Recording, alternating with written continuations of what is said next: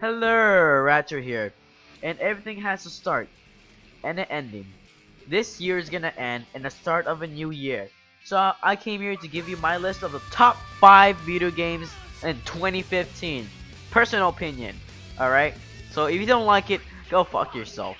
So let's go to the list. Number 5. Undertale, the actual novel gameplay, a decision system that feels natural and actually impactful, lovable characters, and awesome songs. Overall, it's a very well put together piece and doesn't really have any detracting factors. Everything meshes well together and gives a truly unique experience that hasn't been done in a good while. So basically, this game is like best RPG game you ever played in your life. I'll recommend you to play this game. So, but we're gonna go to number four. Number 4. Uh, Fallout 4 in this series creates a world, an atmosphere, which is both exhilarating and oppressive.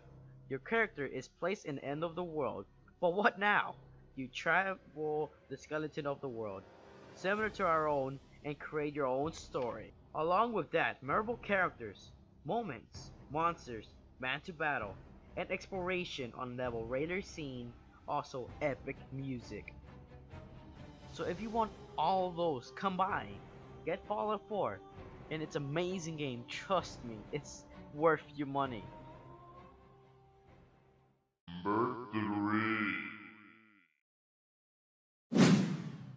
This game is pretty amazing. If you want a good story with hard ass levels, this is for you.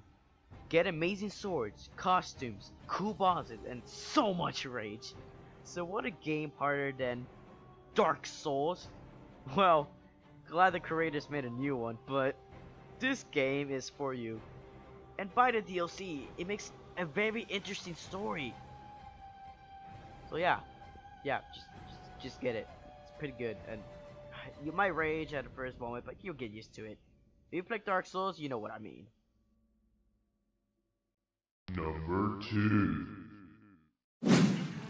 Mortal Kombat X, want a game of full fighting, a decent storyline, awesome and competitive players online, amazing DLC characters, so much blood, also this!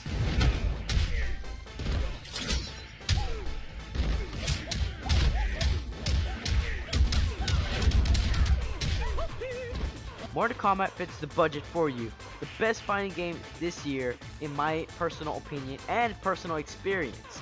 So get the game right now. I pre-ordered it and I got the statue. Get jealous now, boys. Number 1. Cool Lord, this game is large. This is kind of things that often said about a new game, especially of an open world variety. The game is being compared to Skyrim, Grand Theft Auto, and Red Dead Redemption. This game's mechanics for letting players know about what's available in this game. It has 160 hours of gameplay. Wow! So want to play an open world game that will keep you up? Well, this game is for you. Also, this shit has horse racing. Woohoo! Yeah, horse racing. So guys, that was my top 5 video games in 2015. Leave your opinion down below. And you want more of this top 5, leave a like, subscribe. And while subscribing, say a rookie yeah. See you in the next one guys, and hope you have a great year.